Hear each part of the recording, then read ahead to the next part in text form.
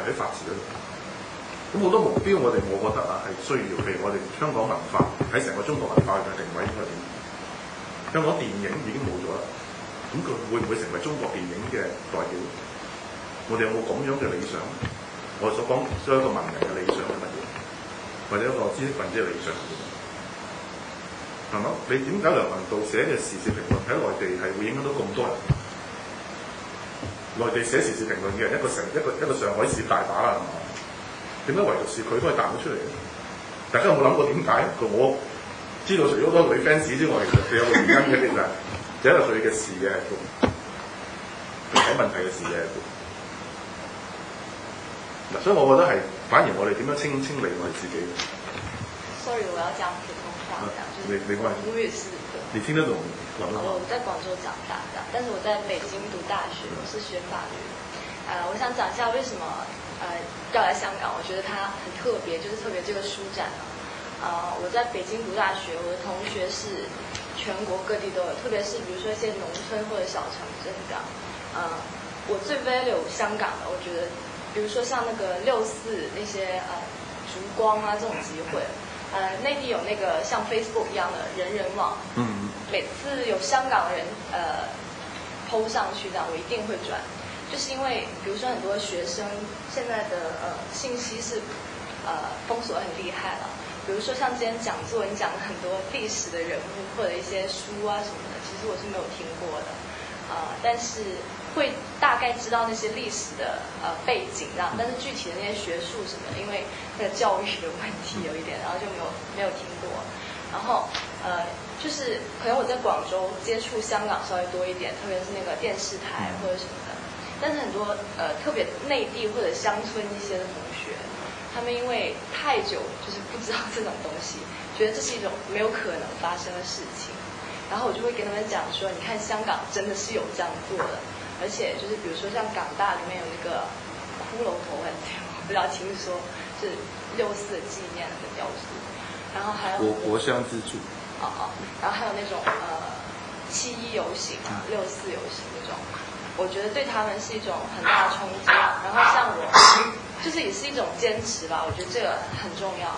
然后香港的话，嗯，比如说像梁文道这些确实很火的这样同学里面，呃，视野的问题了，我觉得。就比如说像你今天讲讲座的這些，特别是那种华人文化圈这种整个信息量的话。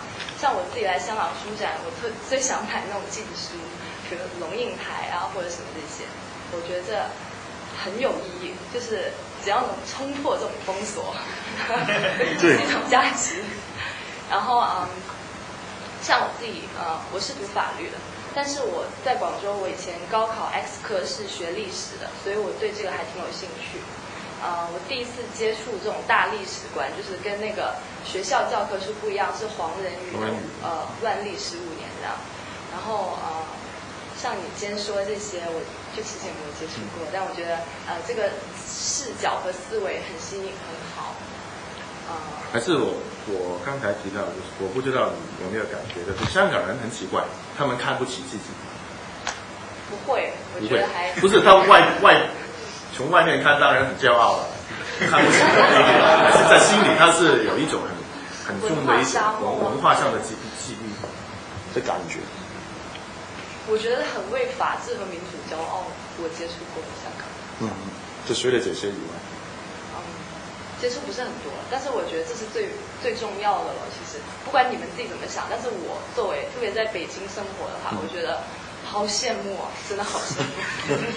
然后我自己读历史书也主要是，呃，内地只读一个叫张明，他是写那个小人物的那对对对，写的我很辛辛亥革命，嗯，然后其他的话，我会读那个华人华人的那种，比如说许兆许兆宇啊许兆宇台湾台湾的或者香港一些，我就是想拓宽我的思维这样。嗯，就其实内地的年轻人很多也是想就是冲破这种封锁这样。是，我觉得这个也是刚才你问的问题，就是我们的希望在哪里？这是我觉得，我们不要看的看不起我们香港人。实际上，香港人在近代历史上对中国的影响是蛮大的，特别是不止不只是香港。实际上，香港我告诉你是整个我们叫海洋中国人的一个枢纽。海洋中国人是是哪里？也就是福建、广东。我们在明朝已经出海，在马来西亚、印度尼西亚、泰国。你你你今天到马来西亚，他们还是讲这个广东话，吉隆坡，就是都是没问题的，跟在香港一样的。他们同步是看这个 TVB 的电视剧，同步的。所以林峰为什么受欢迎呢？就是这个。香港是这个枢纽来的，从明朝开到清朝开始都是。所以孙中山为什么会？孙中山的革命是有他的历史的一个背景，不完全是他个人，他是代表一种海洋中国人对中国的一种看法。这个概念是很不政治不正确说出来的。实际上广两我们叫粤闽，这是福建、广东，跟海洋的距离啊，在明朝的时候，北内陆还要紧密。他们出海更容易，北去北京更容易，去北京是很难的。广东人以前没有海路的时候，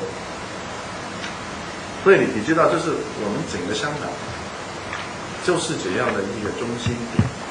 我们在南洋的北部，也是类中国大陆的南边。我们虽然是国境之南，还是南洋就是我们，我们在它之北。